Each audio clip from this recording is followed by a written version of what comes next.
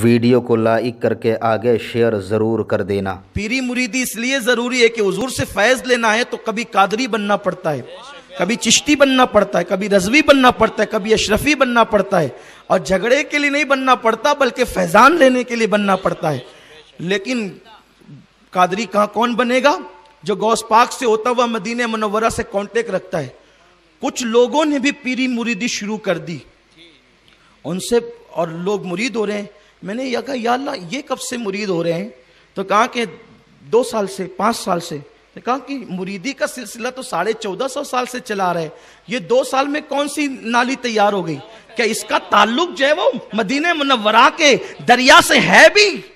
वरना याद रखना, खेती सूखी के सूखी रह जाएगी, कभी हरियाली नहीं आएगी।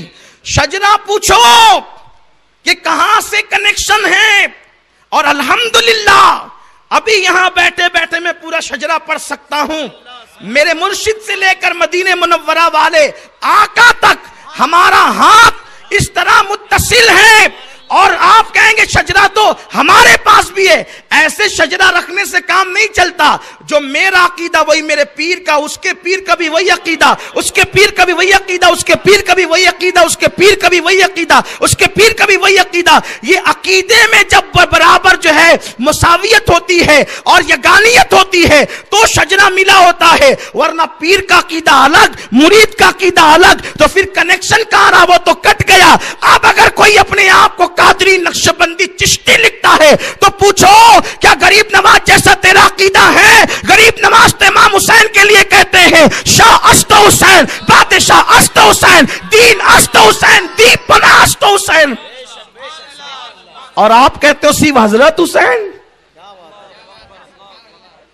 तो मतलब आपका रिश्ता मिला नहीं है। बात हंसने की नहीं है। मुरीद होने के लिए भी हमारे सरकार महाराजा शरीफ के साहिब सज्जादा नजीब मियाँ सरकार कहते हैं, पानी पियो, छान कर और पीर करो, पहचान कर। उनका बड़ा प्यारा नारा है। और पीर करने से पहले देखो, ये पीर है, पैर तो नहीं है। हाँ पीर होगा तो खुदा तक पहुंचाएगा। सुबहान अल्लाह और हमारे पीरों की शान क्या है? जा करके मदीने सलाम करते सलाम या जद्दी। तो इतना मज़बूत रिश्ता है, जवाब आता है, वालेकुम सलाम या वलादी। ये इन आकाओं से अपना रिश्ता है। अल्हम्दुलिल्लाह ताला, ये एक हमारा पीर है जिसे मखदूम अशरफ कहते हैं। यूँ जवाब आया, एक दूसरा पीर है।